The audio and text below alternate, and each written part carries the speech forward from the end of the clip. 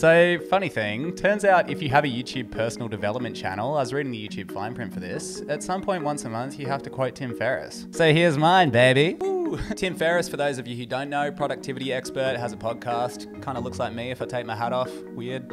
Five Bullet Friday. Anyway, he has this question on his podcast, The Tim Ferriss Show, that he asks to all of his guests. He says, What is one purchase under $100 that has changed your life?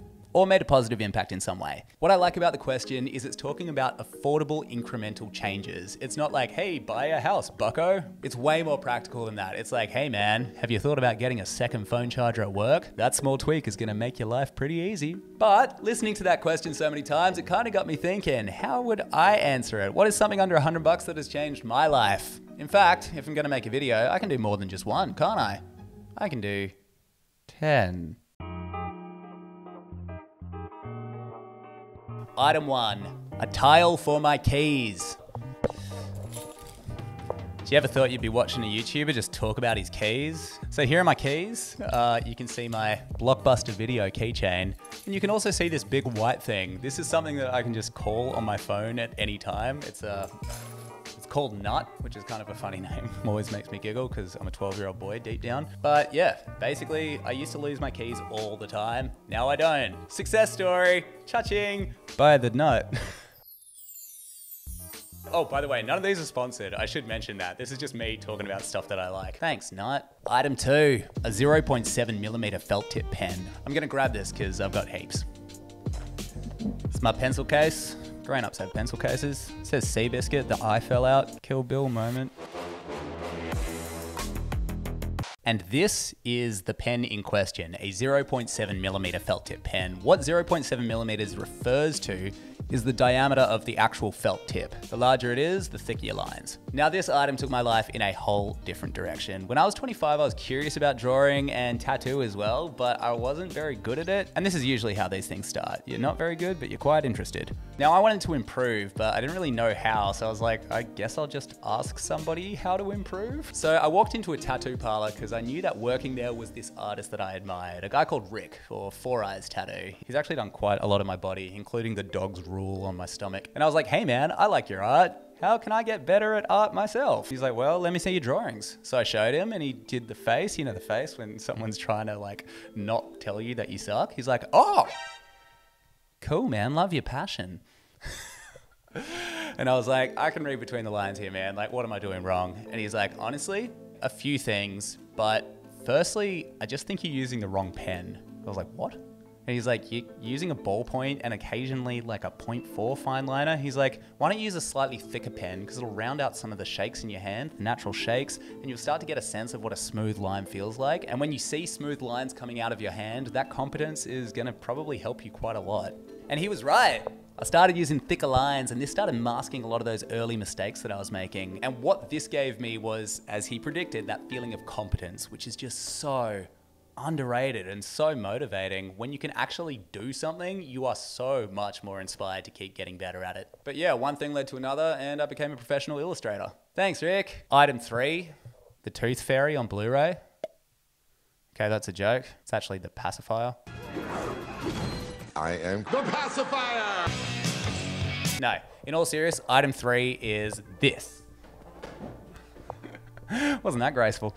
A lockbox. This thing is so underrated. I don't know why this isn't just a staple in people's houses in 2022. So you can probably guess how this works. You grab your phone or whatever else it is that you're addicted to. I know some people I work with put their vapes in these.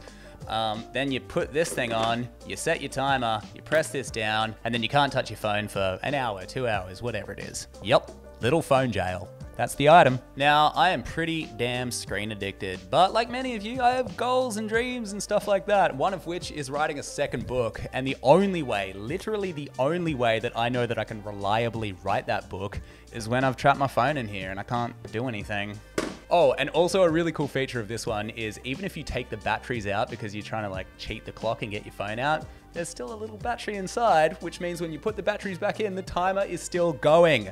You can't free your phone, and it's just liberating. It's real nice. Item four, Snorkeling gear. Yeah, I've pretty much had a lifelong fear of marine life. Squid, sharks, fish, even whales. And on one hand, I have a desire to overcome that fear, but on the other hand, Know, squids are freaky, dude. But then, yeah, my brother-in-law goes ahead and buys me this snorkeling gear. He was really into it and he's like, come on, man, just give it a shot, dude. I was a bit quiet about my fear that day, but you know, we went under and it was just a whole new world. Something about being underwater and seeing so much marine life was really, really cool.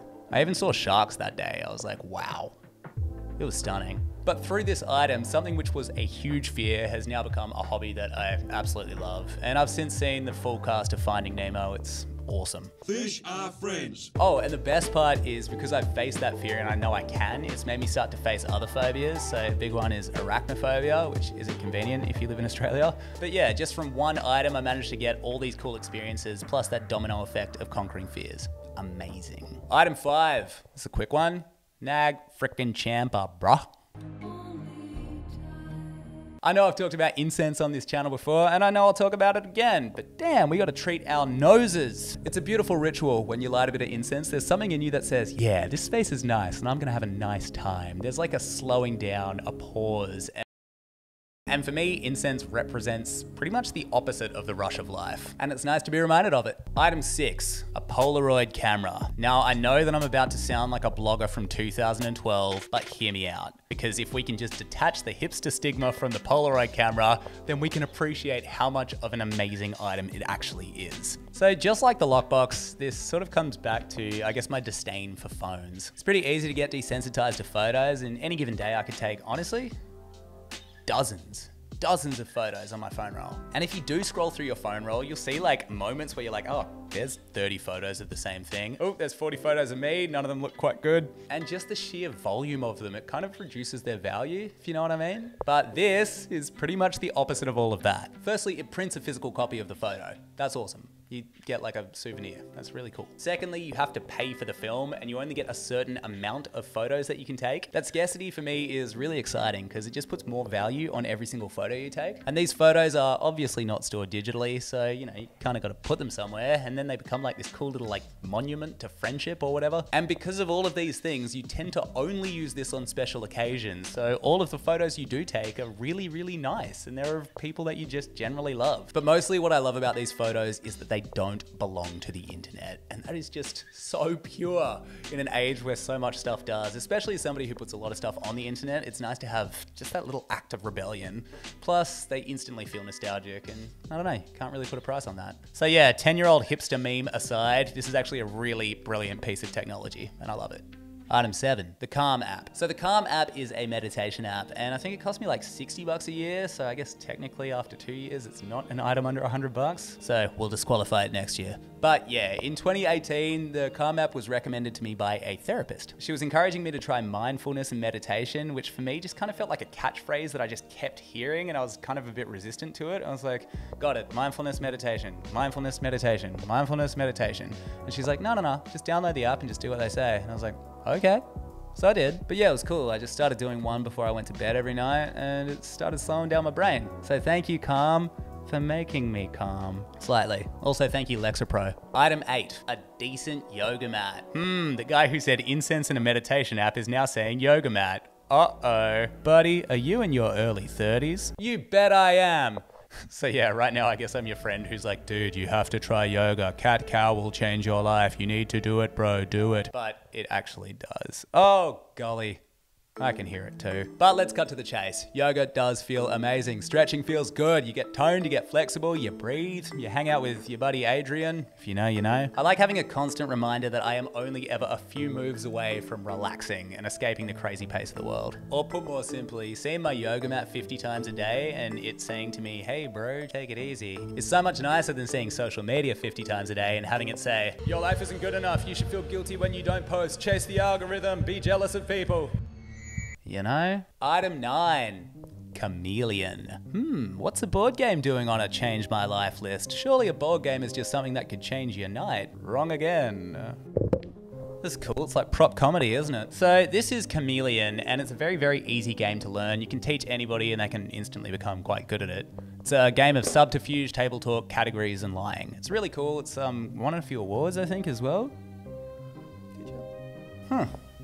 Maybe not. Oh, yeah, there we go. 2017 Best Party Game. Nice. It's made by Big Potato Games and it's phenomenal. So here's the change my life part. So I don't do drugs anymore at all, and I don't really drink unless it's a special occasion. But when I was trying to quit all that, what I realized is that alcohol is a terrific social lubricant. If you are going over to, say, some cousin's house that you haven't seen in 10 years and you're meant to make conversation, having a little glass of wine is a really easy way to do that. When you take away that glass of wine, you are stuck with hey man, how's the weather, sport, job, family, I don't know, haircut. So now I got this quest, right? I want that social lubricant back, but I don't want to drink. Enter Chameleon. Having a structure to have good banter in when you're sober, when you're with people that you don't really know that well, amazing. Amazing. And look, I know it's nerdy to bring a board game around instead of a bottle of wine, but suspend your judgment because it's a great game. and item 10, these dog tattoos on my arm. So this one was slightly more than 100 bucks, but the whole change my life thing definitely happened with these dogs. So these dogs are from the book Go Dog Go by P.D. Eastman. It was my favorite book as a kid and I got it at a parlor called the Hub Collective in Newcastle. Now, the reason that I was at that parlor is because I had a couple of hours to kill before this job interview. Incidentally, I went to the job interview and I started bleeding through my white shirt mid interview. There was just like blood all over my elbow. Uh, I actually got the job. But even though I had that job, I was like, well, I really like the vibe of this parlor. Anyway, as I was getting this dog tattoo, I start talking to the couple who run the place, and one thing led to another, and we sort of became friends, and I started visiting that shop a little bit more often, and eventually I became their apprentice, and I started learning tattoo for myself. So that was awesome. So in many ways, this dog tattoo for me represents the stage of my life where I started properly making money off my art. So that is the list. What do you think? Did you enjoy it? I did. Also, if you've got time, I'd love to like do something with the comments here. If you could help other people out by putting in your items under 100 bucks that changed your life, because I'm sure we got some pretty cool variation, and I'm sure there's like heaps of stuff that we all haven't thought of. So yeah, give me yours. I'm curious. And how's this for a segue? If you would also like one more item under 100 bucks that might change your life, well. you can buy my book, Your Head is a Houseboat. Um, according to Osher, it actually is life changing. He said the most important and accessible mental health book in a generation, truly life changing. So I guess this fits the bill. Okay, that's enough for the plug. But um, yeah, genuinely, I put a lot into that book. So if you like what you see here, this is uh, this is a bit more of it, man. Anyway, have an amazing day. Thank you so much. Subscribe if you're new, and I don't know, keep being glorious. Catch ya.